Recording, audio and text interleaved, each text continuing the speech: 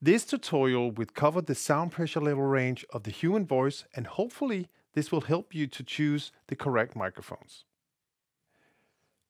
The level of the voice varies a lot from person to person.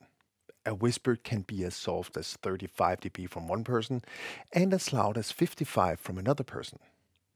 One person's shout might only be 80 dB and another person's might be 100 dB. So the dynamic range of the voice can be as much as 65 dB. We measure levels at 1 meter because this is considered normal conversation distance. If we measure levels closer to the sound source, in this case the mouth, the level increases dramatically. The level increases about 15 dB when we move to the chest or to the forehead, which are only 20 centimeters away from the sound source. If we move even closer, like the headset position, the level is increased by another 10 dB. So at the headset position, the level is increased by 25 dB in total compared to the normal conversation distance. This means that the sound level of a person shouting, measured to 100 dB 1 meter away, will be 125 dB at a typical headset position about 2.5 centimeters or 1 inch away from the mouth. It can be even louder in extreme situations.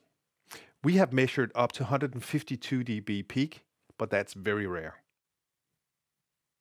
If you don't know the maximum level of the voice you're working with, you have to make sure that your microphone can handle really high sound pressure levels, like this 6066. Here, the lower limit of the microphone's working range is the microphone's self-noise at 26 dBA. And the upper limit is the distortion level of the microphone at 128 dB. This area is called the dynamic range of the microphone. With this microphone, it's 102 dB. Make sure the dynamic range of your microphone always exceeds the dynamic range of the typical voice. Then you don't have to worry about self-noise and distortion of the microphone, and you can focus on other things, like how to preserve speech intelligibility.